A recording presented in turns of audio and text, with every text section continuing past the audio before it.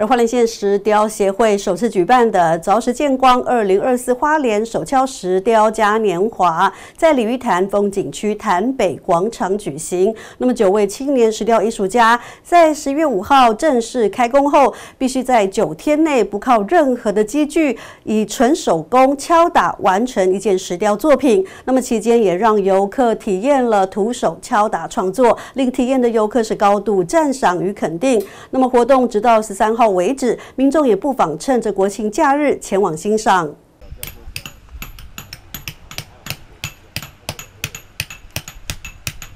华莲县石雕协会首次举办的二零二四华莲手敲石雕嘉年华，不靠任何插电工具以及重型的切割机具创作，就连包括韩国石雕家在内的石雕家都觉得难得的创作体验。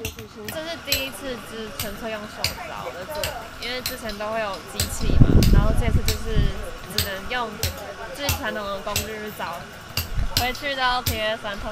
这就是随着就时代演进，我们现在平常在工作室也都是拿这个电动工具，对。那这次就是回归初心这样，然后就是也体验前人的辛苦，然后不同的方式去感受这个石雕跟我们创作者的关系这样。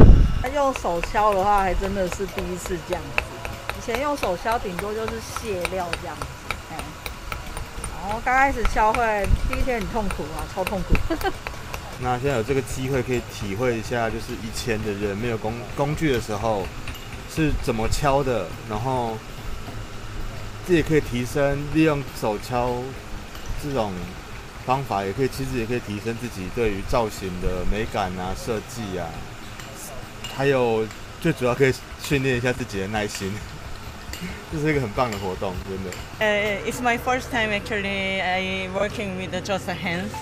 I can learn many techniques with this and.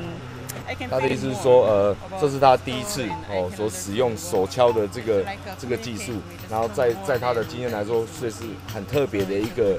方式这样子，而之所以会举办这场手敲石雕嘉年华，花莲县石雕协会就是希望能够让民众就近距离的感受石雕创作之美。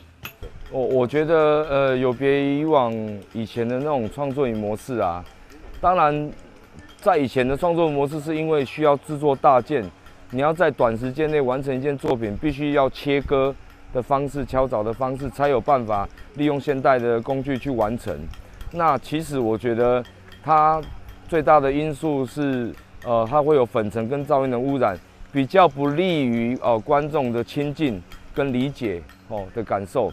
那如果像这种手敲的方式啊，是会有办法更亲近民众，来了解、关心啊，甚至喜欢艺术的人哦，可以更亲近这个这个手敲影的这个这个互动体验。对，那我也希望说，如果未来。呃，国际石雕创作营也可以利用这种手敲的方式，就不会被 民众抗议说粉尘噪音的一个问题。来到这里的游客也可以拿着石雕工具进行创作敲打体验，更可以近距离看着石雕家一凿一凿的雕刻作品，并且进行交流。纷纷表示是一种相当难得的经验感受。也很惊艳啊，我也很很惊艳，也是没有想到，没有来的时候还这样可以看得到，这样。活动除了创作营之外，也有石雕艺术展览、茶席、音乐与市集等精彩活动。手敲石雕嘉年华活动直到星期日为止，民众不妨趁假期前往欣赏。凿石见光，欢迎！记者刘明胜花莲采访报道。